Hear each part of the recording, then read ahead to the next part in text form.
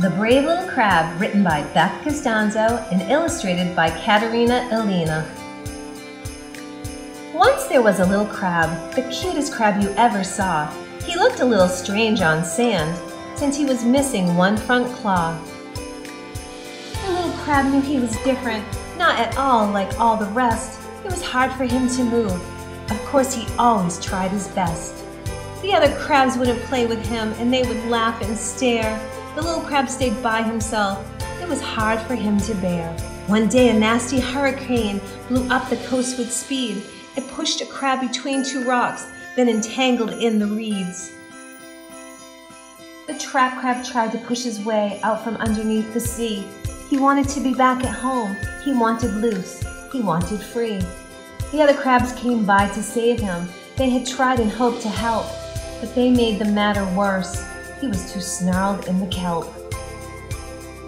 Oh no, cried a worried crab.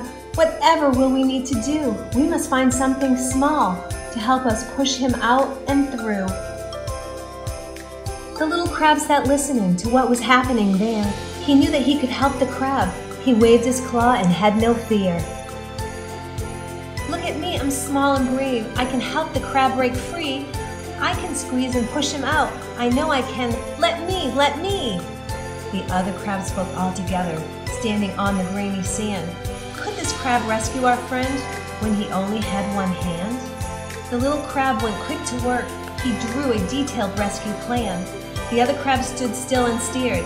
He dug a tunnel in the sand. The little crab climbed and squeezed between the rocks and jumbled weeds. He pushed the larger crab and said, I hope this works. It's all you need. He tried and tried and tried again. The upset crab was tightly stuck. The plan didn't work for the little crab, and he was running out of luck. The little crab knew in his heart he couldn't panic, couldn't fail. I need to move this friend in soon, a happy ending for this tale. The little crab then braced himself. He counted with a large, loud roar. He gathered strength of ten more crabs. One, two, three, four. The larger crab then catapulted from the kelp wrapped rocks below. The little crab's brave act of courage was really quite a mighty show. You're the best, my little friend. Thank you for saving me. You being different saved the day, helped me out, and now I'm free. All the crabs now gathered round. They clapped and gave a cheer, grateful for the little crab and glad that he was there. They lifted up the little crab. They raised him high up to the sky. We're delighted to say thank you. Happy that you worked and tried. Little crab then bowed with pleasure. He said, now let's have some fun.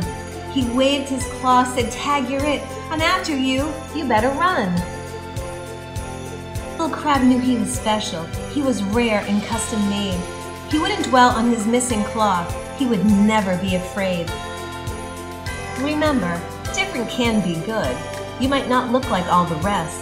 Think about the little crab and always try to do your best. The end.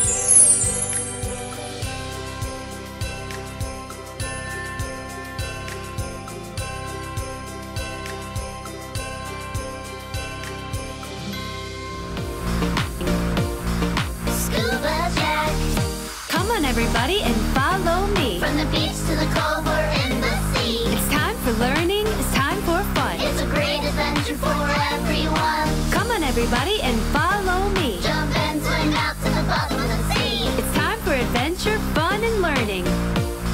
Scuba Jack. It's a shark attack!